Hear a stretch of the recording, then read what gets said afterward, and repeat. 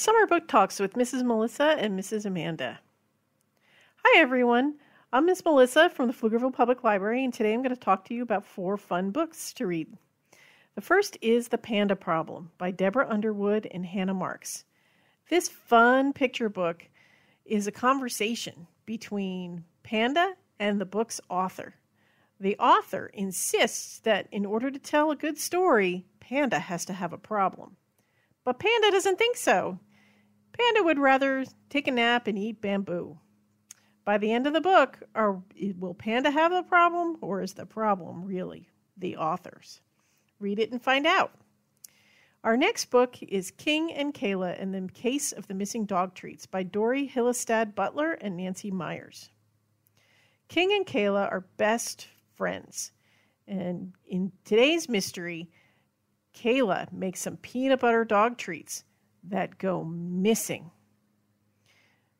King has to solve the mystery. Using his wonderful nose and his little assistant, will he find out who took the dog treats? Our next book is Music and How It Works The Complete Guide for Kids by DK Publishing. In this book, you're going to find everything you ever wanted to know about music. From scientific information about how sound is made to more practical information like how to read music and what scales and chords are made of.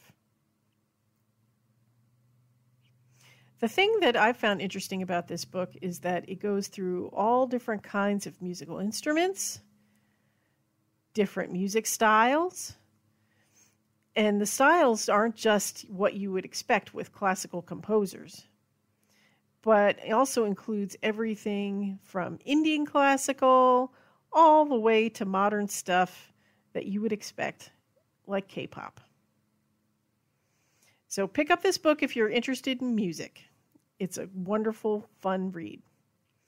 Finally, I have mini amigurumi animals, 26, 26 tiny creatures to crochet by Sarah Abbondio. This book is a great guide for those of us who took up a new craft maybe during uh, the lockdown at the beginning of the pandemic. It's called the Mini Amigurumi, where you make a tiny stuffed animal that you crochet.